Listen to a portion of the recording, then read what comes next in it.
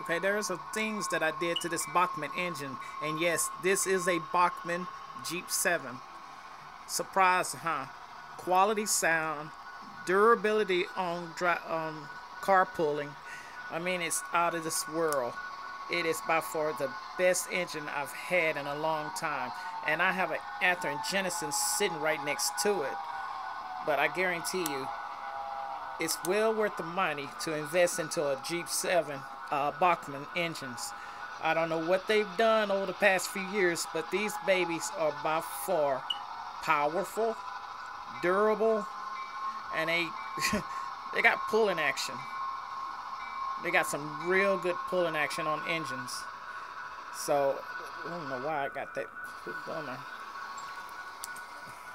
But I guarantee you, it can outpull any engine that I know of. And I, I adjusted the speed table. I the speed table on it so it'll have a good uh, so it'll have a good forward and reverse motion and I was able to re, uh, set the automatic bell on these babies so it has an automatic bell the light flashes I mean uh, this engine has a tsunami in it. I don't know how in the world it was able to get a tsunami in it, but I thought soundtrack. Well, tsunami.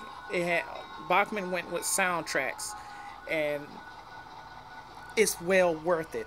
The sound, the durability, everything is so amazing with these Bachmann engines, and I'm gonna invest in about three or four more of these Jeep Sevens. But uh, if you want to look for durability and a good quality sound, try try investing into a Bachmann engine. All right.